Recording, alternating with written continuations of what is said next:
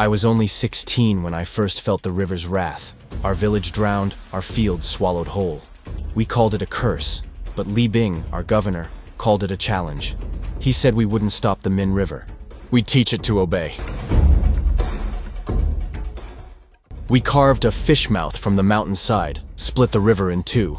One to calm its rage, the other to feed the land. No dam, no iron machines, just our hands, stone, and the will to make the earth listen. We bled so our children wouldn't drown.